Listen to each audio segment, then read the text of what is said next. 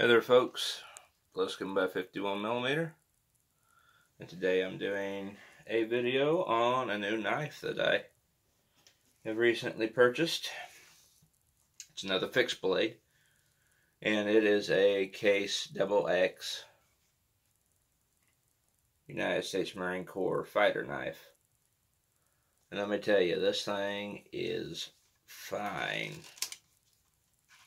Let me get it out, let y'all see it. Keep in mind too that on this video, uh, since I'm filming with my phone, everything's going to be reversed because when I use the camera that faces me, it flips everything. I don't know why, it just does. So I apologize. Come on, folks. Did y'all see the blade? Anyway, it's uh, sharp back here on the curve of the blade on the spine. Whereas in comparison to the, you know, actual K bar from Olean, New York, it isn't. As you can see there.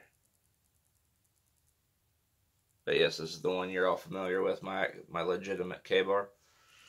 Um, that many have, for multiple reasons, have told me that this one is not a real one either. So they they say that because it's not, uh, you know, it didn't actually wasn't made during World War II, wasn't used in World War II, so therefore it's not real. I don't know. It's real to me. It came out of the K-Bar plant. It says K-Bar there. But that is a story for another video on all that. But anyway, the fit and finish on this knife is uh, very, very good. I will say that the uh, coating that they used, I think, is Parkerization. So over time, this will probably rub off a lot quicker than when than the coating on my uh, legitimate K bar. It's pretty freaking sharp on the main blade and back here on the spine. I think I actually kind of think the spine is uh, sharper than the blade itself, which is strange. Maybe that's just me. Um, the handle, stacked leather. It is full tang as well. As you can see there. Yeah. Yep, and it uh, the hilt has a ever so slight play. I don't think uh, that will be a problem in the long run. The handle is a lot thicker than the K-bar. so it feels the hand a lot better. It actually kind of feels better in the hand because it's thicker. The handle's thicker. And you can get a better purchase on it for, you know, slashing and whatnot, cutting. Kind of like that. The real Ka-Bar or legitimate K-bar is thinner back here on the blade. Or not back here on the blade, back here on the handle. and, you know, you can still get a good purchase on it, but I kind of like the Case Double X grip a bit better. But with this one, you know, that's kind of like, uh, you know, apples to apples there. You're, they both have a good grip. Both knives do. And, you know, there's nothing wrong with either one of them. It's just personal preference. You know, I've used this knife for, hell, 10 years. It'll be, I've owned this knife for 10 years come December 2012. Well, uh, this, well, December of this year, I got it in 2012, December. That's what I meant to say. I'm a bit tongue twisted. Today, uh, my left ear is uh, acting more squirrely than it has been, so I'm kind of, you know, all my sounds over here on this side. So it is what it is. That's kind of bothering me, distracted me, if you will. But, you know, I'll get used to it. As for the sheath, let me take the knife out. The sheath on the Case Double X is very well put together. It's a bit thicker than the K-bar sheath. Let me compare.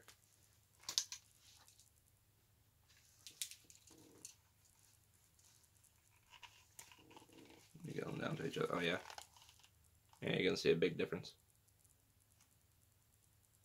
Yeah, the Case Double X is a lot thicker. A little bit longer too. Let me try and get them lined up.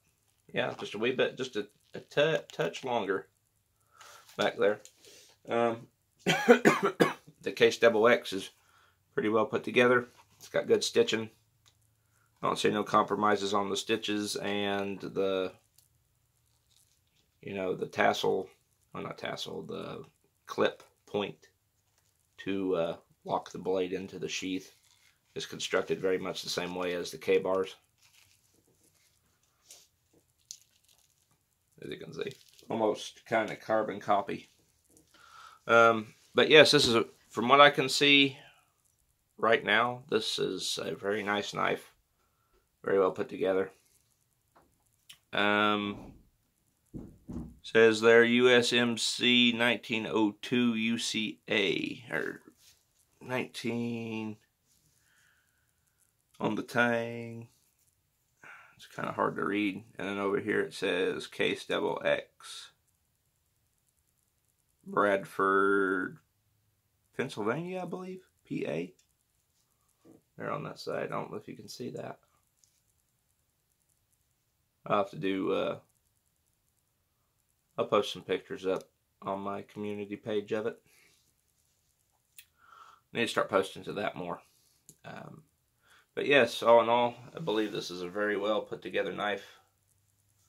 And I will, uh, I've already been wearing it for a, a few days now. I just, I just love it because it's lighter than the K-bar. Has a thicker handle than the K-bar. Uh, the one thing I will say that I don't like about it is the sharpened edge back here on the curve. Um, not that I don't mind it because that's that's kind of unique, um, but with the other one, I like to place my fingers like right there when I'm doing precise, like when, for one when I'm sharpening, and two when I'm doing like a precise cut, or if you know you need to grab it and cut something. So when I'm using this knife, I'll have to be sure not to do that because I could slip up and you know cut myself pretty good. It's almost like a raptor's claw the way it looks. Maybe yeah, the angle's not the same, but it it kind of mimics, you know. But yes, uh, the fuller on it as well is uh, pretty deep. I forget what metal it's made out of. Um, the whole reason I bought this knife, I'd been looking at it for a while. Uh, for a few years, actually, ever since I found out Case Double X made a clone. Um, of the K-bar. I wanted it, but you know, I was always rattling around in the back of my head. Do I want to get a Case Double X or another K-bar? K-bar, you know, another full length one of these, and I probably will because let's face it, I like you know I like fixed blade knives. Um, uh, you know, have a collection of them just like I do swords and guns. Uh, but I was kicking tires, whether I wanted to get it or not. And then I was on a website the other day. Mm, well, I say the other day. It's been about three weeks ago. Um, maybe been before I got COVID. Maybe been after I got COVID. Something like that. Anyway, it. Uh, I was on a website. It is knife based, and uh, I think I was looking for another, uh, you know, flip blade pocket knife. You know, something that's because when I start carrying my SPL one, I, this I don't know if I'll be able to carry both a fixed blade and a handgun at the same time. This one I might because it don't weigh as much as the USMC K bar, but um, you know this one. Uh, yeah, I was kicking tires on it, and then I seen there on that website that I don't know if it's true or not, but I seen where Case Double X said they're going to be discontinuing this knife, and I freaked out. So I was like, well, You know, I hadn't quite made up my mind yet whether I wanted to buy it or not. But I was like, well, if they're going to discontinue it, I may not have any ch- any other chance. So, you know, I went and bought it. Um, and so far, I don't regret it because, you know, between the sheath, the way it looks, you know, the blade, the way it feels and handles in the hand. I mean, I you know, I just I, I have it and I haven't owned it much, but you know, I've used that other one enough. I can kind of tell this one's lighter, and it almost weighs as much as my Mark One USN. That's how light it is. Uh, that may that may not help, you know, for chopping or nothing, but um, I'm impressed with it. I like it, and I'll have to do some, uh, you know, wear it a little bit and form an opinion for it. Go back and forth between the other one. Um, may start trying to incorporate some cutting tests with my knives. Um, do comparisons that way, like with this one and this one, for example. Do some cutting tests. So, um, stay tuned. There'll be more videos on this bad boy eventually because um, it is a now. You know, I've compared this K-bar to my USN Mark 1 and the fake K-bar that's downstairs because, you know, I, eventually I could probably do a video where I compare both of these to it. Um, but this one is now in direct comparison to to this, so it's got some competition now because for almost to scale, they're almost the same length. You know, going right there at the hilt and the blade, they're same length, same everything. So we'll see. I'll be doing some comparisons and stuff. Figure out chopping tests that I could do that won't destroy them, and uh, you know, see how this holds up to this. May try some sharpening methods of mine on this as well after I've owned it for a bit. Because he's pretty sharp, but compared to this, the, well, naturally, you know, I've done about three different knife sharpening methods to this bad boy to get it as razored up as it is. Um, but I could try some knife sharpening methods out on this dude see how it holds an edge. So uh, it's kind of got more of like a Bowie look to it there, the way the knife is designed like back here. Kind of has more of a Bowie look to it over the USMC. But anywho, I figured I'd let you guys see my new knife. I love it haven't really owned it that much. Uh, I wasn't able to get to it for a while because I ordered it in. It came down to my dad's and it sat down there for a few weeks because I wasn't able to, you know, I was sick, couldn't drive, couldn't do nothing. So finally went down the other day, felt good enough to go down and get it. So, yep, here it is. Let me put it back in the sheath. I will uh, say this one, and this one did come with a tassel, which the other one didn't. Oh, I thought I thought I cut myself. You gotta be careful sometimes when you thumb the blade to see how sharp they are. You could accidentally cut yourself.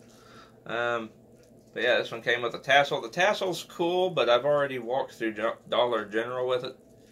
And this is flinging around everywhere. I mean, yes, it's open but you know, this it wouldn't take much for it to get uh, caught on something. And uh, when I get into my car, I was getting into my car to uh, come back home, and this got caught under my leg. So I'm sitting there trying to move my knife, and my knife's like being pulled into my thigh. I mean, albeit it's in the sheath, but you know, I'm trying to sh switch gears on my car, and I can't scoot over because this is now being pulled into me. So this tassel may not be uh, uh, be on my hip much longer. I don't know. We'll see. I'll wear it some more. Figure out what I'm doing. Anyway, this has been Plisken by 51 millimeter, guys, and uh, stay tuned. I do have an update video that I will be doing after this very soon. So, uh, in regards to uh, work and what I've got planned going forward on stuff. So, stay tuned, guys, and uh, I'll catch you guys all in the next video. but I figured I'd do this standalone. So that way the people who want to see just the knife don't have to hear me ramble about uh, what I got planned for the future of the channel. I mean, if you want to go watch the video, I mean, you know, I'm doing that that way to uh, separate it out, and I'll explain why. Um, but uh, yeah, figured I'd just do this as an independent video on the knife. Anyway, this has been Plisken by 51mm. I'll catch you guys all in the next video.